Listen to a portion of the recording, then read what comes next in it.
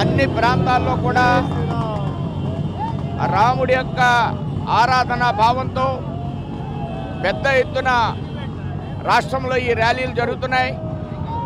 హిందువుల్లో ఈ రాష్ట్రంలో స్పాంటేనియస్గా ఈ ఉత్సాహమైనటువంటి వాతావరణం ఏదైతే ఉందో పార్టీలకు అతీతంగా హిందూ యువతంతా కూడా ఒక చైతన్య భావన ఈ రాష్ట్రంలో కూడా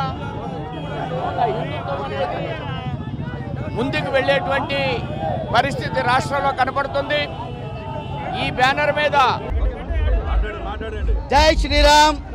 ఈరోజు శ్రీరామనవమి సందర్భంగా మన గుంటూరు పట్టణంలో శ్రీరామ సమితి ఆధ్వర్యంలో అన్ని అందరి యొక్క ధార్మిక ధర్మ సంస్థలు శ్రీరామ సందర్భంగా శ్రీ శోభయాత్ర వేలాది మంది రామభక్తులతో పురప్రజల యొక్క సహకారంతో అతి అద్భుతంగా ఈ ర్యాలీ మహోత్సవం జరుగుతుంది. రామరాజ్య స్థాపన జరగాలని ధర్మస్థాపన జరగాలని హిందూ దేవాలయం మీద దాడులు ఆగాలని మత మార్పులు తగ్గాలని గోవును జాతీయంగా ప్రకటించాలని సంయుక్త ఆధ్వర్యంలో జరుగుతున్న ఈ ర్యాలీకి రాష్ట్రమంతా విశేష స్పందన లభిస్తుంది. గుంటూరులో ఉన్న ధార్మిక ధర్మ సేవా సంస్థలు అన్నీ కూడా యువకులు అత్యంత ఉత్సాహంగా జై శ్రీరామ్ నామస్మరణతో పాల్గొన్నారు. ఇప్పుడే మానేశ్రీ బీజేపీ అధ్యక్షులు సోమవీరాజు గారు కూడా కొబ్బరికాయ కొట్టి ఈ కార్యక్రమానికి శుభ ఆరంభాన్ని ఇచ్చారు. జై శ్రీరామ్.